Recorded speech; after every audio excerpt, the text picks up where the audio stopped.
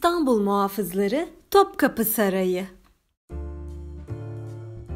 Zeynep, Elif, Ali ve Mehmet Koca Çınar'ın önünde heyecanla top oynuyorlardı.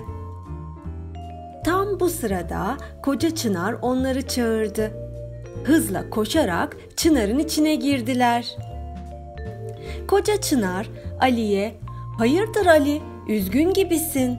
dedi. Ali de yakan top oynarken az daha can alacaktım. Kafama top düştü dedi. Hep beraber gülüştüler. Azmi ve Gürgen yine bir işler karıştırıyordu.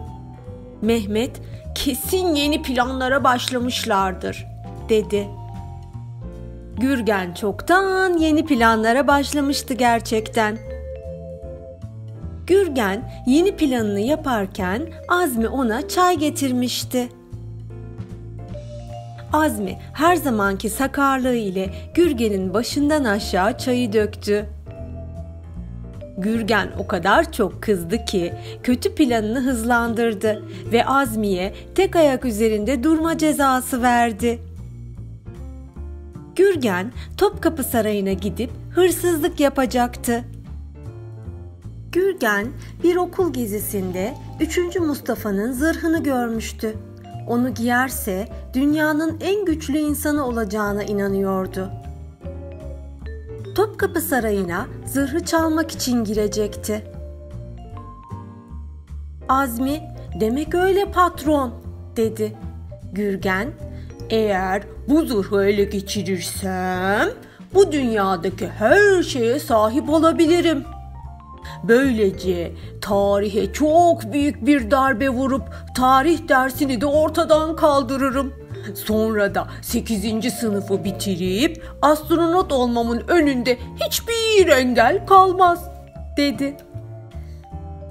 Bu sırada koca çınarın köklerinden sinyaller geliyordu.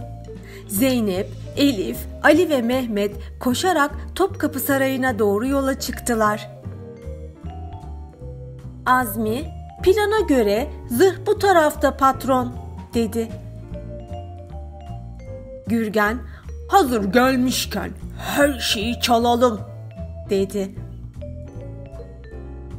Çocuklar da Topkapı Sarayı'na ulaşmışlardı. Ali, acaba amaçları ne? Yoksa kutsal emanetleri mi çalacaklar? Buna asla izin veremeyiz arkadaşlar, dedi. Zeynep tabletten Topkapı Sarayı hakkında bilgi araştırması yaptı. Sarayı 1478 yılında Fatih Sultan Mehmet yaptırmış. 380 yıl boyunca devlet buradan yönetilmişti. Dört avlu ve birçok yapıdan oluşuyordu. Bir sürü tarihi eser vardı. Ali, o zaman ne yapacağız? Burası çok büyük, dedi. Mehmet, ikişerli gruplara ayrılalım, dedi. Gürgen, tarihi eserleri çalabilmek için cam kesen bir makine icat etmişti. Tarihi eserlere ulaşmaları çok kolay oldu. Hepsini teker teker çalmaya başladılar. Yerlerine de evden getirdikleri malzemeleri koydular. Böylece kimse eserlerin çalındığını anlamayacaktı. Mehmet ve Zeynep eserlerin olduğu bölüme geldiklerinde çok sinirlendiler. Azmi ve Gürgen çoktan kaçmışlardı. Gürgen ve Azmi kaftanları da çalmaya başladılar. Yerlerine de Azmi'nin pijamalarını koydular. Zeynep ve Ali, Gürgen ve Azmi'yi kıl payı kaçırdı. Gürgen ve Azmi yollarında gördükleri her şeyi çalıyorlardı. Bu defada kaşıkçı elmasını çaldılar. Çaldıkları her şeyi yanlarında getirdikleri çantalara doldurdular. Sıra 3. Mustafa'nın zırhına gelmişti. Onu da itinayla çaldılar. Gürgen hemen zırhı üzerine giydi. Elif ve Ali bu sırada içeri girdiler. Durun, Bırakın tüm çaldıklarınızı. Utanmıyor musunuz bunları yapmaya?" dediler. Gürgen, "Hayır, utanmıyoruz. Artık dünyanın en güçlü insanıyım." dedi.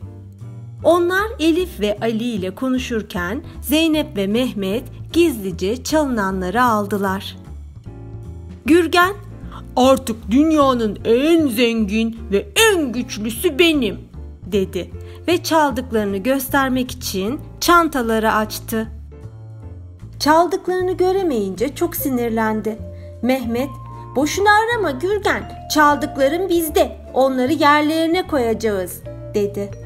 Gürgen, siz şimdi görürsünüz gününüzü, gücümle sizi yok edeceğim dedi.